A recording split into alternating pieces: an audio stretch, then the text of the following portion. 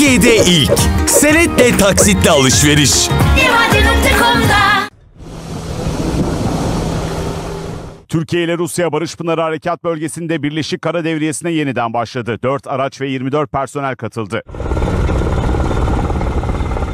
22 Ekim 2019'da Rusya lideri Putin ve Cumhurbaşkanı Recep Tayyip Erdoğan Suriye'nin kuzeydoğusunda durumu ele almıştı. İki lider bölgedeki durumun normale döndürülmesine yönelik ortak faaliyetleri öngören bir mutabakat saptı imzalamıştı. Bu doğrultuda ilk olarak 1 Kasım 2019'da da Rus ve Türk askerleri Fırat'ın doğusunda ortak devriyelere başlamıştı. 5 Ekim 2023'te ise bu devriyeler güvenlik nedeniyle durdurulmuştu. Açıklama Milli Savunma Bakanlığı'ndan geldi. Rusya ile ortak devriyelerin tekrar hayata geçirildiği duyuruldu. İlk ortak devriyenin de 22 Ağustos'ta gerçekleştirildiği bildirildi. Ülkemiz sınırlarının ve bölgedeki sivil halkın güvenliğinin sağlanması, Suriye'nin kuzeyinde istikrarın tesis edilmesi, PKK-YPG-SDG terör örgütüne ait askeri yapıların tespit edilmesi, terörle mücadelede Türk-Rus işbirliğinin sergilenmesi maksadıyla Birleşik Kara Devriyesi faaliyetine mütakip dönemde devam edilmesi planlanmaktadır.